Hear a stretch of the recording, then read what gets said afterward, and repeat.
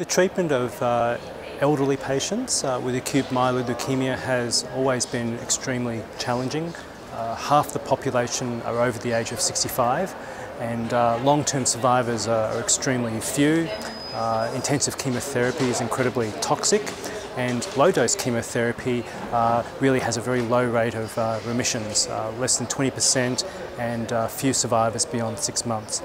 So uh, with a lot of interest in this new drug uh, called venetoclax, uh, which targets a pro-survival protein called BCL2, uh, which then releases uh, a wave of uh,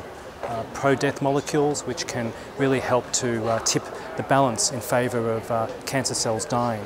a phase 1-2 clinical trial was performed uh, combining venetoclax with a very old drug called uh, low-dose um, cytarabine. Cytarabine was first discovered in the, in the 1950s um, and really we have a, a, partnership between something old and something new.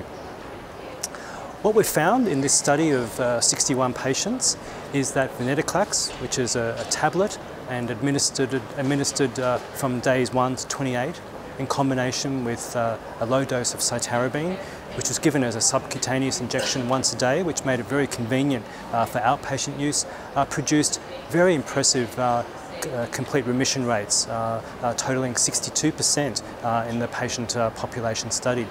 Furthermore, there were certain uh, cytogenetic characteristics uh, which predicted for an even higher uh, clinical response rate and we're starting to tease out now what factors molecularly and cytogenetically predict for a good response. Furthermore, uh, unlike uh, low-dose cytarabine, which uh, only gives response rates on the order of uh, uh, 11 to 19% and where response durations were, were quite short,